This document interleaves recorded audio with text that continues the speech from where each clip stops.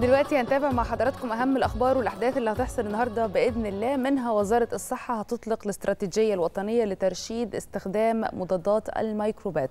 كمان النهارده في مؤتمر صحفي لإعلان عن المواصفات الفنية لورقة الأسئلة الخاصة بامتحانات شهادة الثانوية. كمان في أربع مباريات قوية في إطار الجولة الثانية لدور المجموعات بكأس العالم.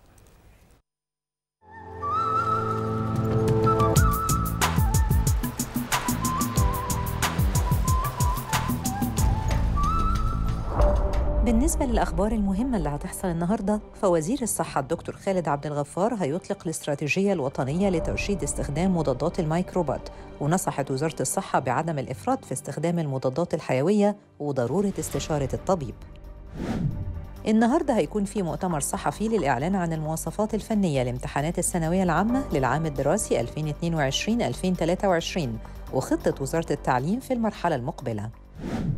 كمان النهارده وزارة الإسكان هتفتتح فعاليات المؤتمر السنوي ال 38 للاتحاد الإفريقي لتمويل الإسكان AUHF بعنوان مستقبل حضري أخضر للإسكان ميسور التكلفة. والدورة الحالية للمؤتمر بينظمها صندوق الإسكان الاجتماعي ودعم التمويل العقاري بالمشاركة مع الاتحاد الإفريقي لتمويل الإسكان.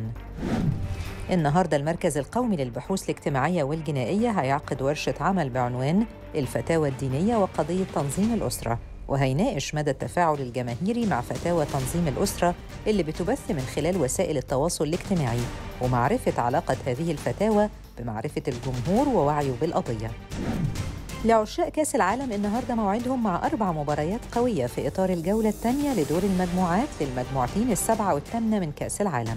هيلتقي منتخب الكاميرون مع منتخب صربيا الساعة 12 الظهر، ومنتخب غانا مع منتخب كوريا الجنوبية الساعة 3 وكمان هيلتقي منتخب البرازيل مع منتخب سويسرا الساعة 6 أما البرتغال فهتلاعب أورجواي الساعة 9 بالليل.